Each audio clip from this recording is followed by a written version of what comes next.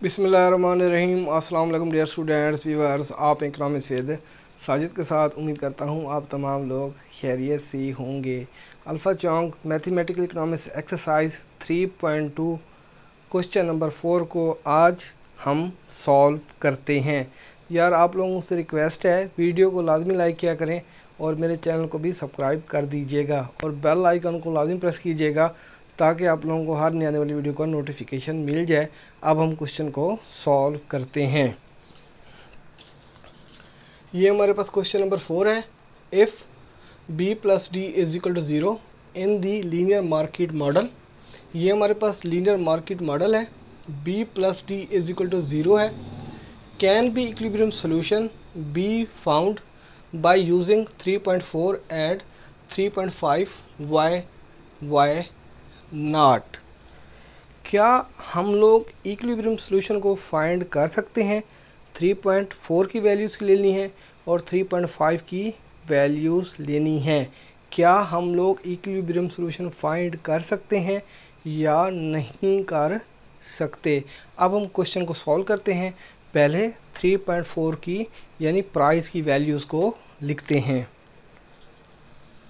Price is equal to A plus C over B plus D ये price की value है। अब हम यहाँ पे क्वांटिटी की वैल्यू लिखते हैं। क्वांटिटी की वैल्यू लिखते हैं Q bar is equal to A D minus का B C over B plus D अब हम इस क्वेश्चन को सॉल्व करते हैं। नहायत सिंपल और आसान क्वेश्चन है। क्वेश्चन में वो बताता है if B plus D is equal to zero यहाँ पर लिखते हैं एफ़ अगरचा बी प्लस डी का जो जवाब है, वो ज़ीरो है। यानी बी प्लस डी वो बराबर है ज़ीरो के। पहले प्राइस को फाइंड करते हैं। P bar is equal to A plus C वैसे आ जाएगा। ए प्लस सी वैसे आ जाएगा। बी प्लस डी की जो वैल्यू है, वो ज़ीरो है। तो बी प्लस डी की जगह इस ज़ीरो को पुट कर देंगे। यहाँ पे ज़ीरो को पुट कर देते हैं। जब हम इसको सॉल्व करते हैं A plus C over zero तो हमारे पास जवाब आता है इन्फिनिटी इन्फिनिटी का मतलब होता है ला महदूद, यानी प्राइस का कोई रिज़ल्ट फाउंड नहीं हुआ। अब हम क्वांटिटी के आंसर को फाइंड करते हैं। Quantity Q bar is equal to A D minus का B C B plus D यहाँ पे क्वेश्चन में हमें बताता है if B plus D is equal to zero if is equal to if B plus D is equal to zero अब B plus D की जगह ये वाला ज़ीरो यहाँ पे पुट कर देंगे। Q bar is equal to A D minus का B C over B plus D की जगह ये वाला ज़ीरो यहाँ पे पुट कर देते हैं।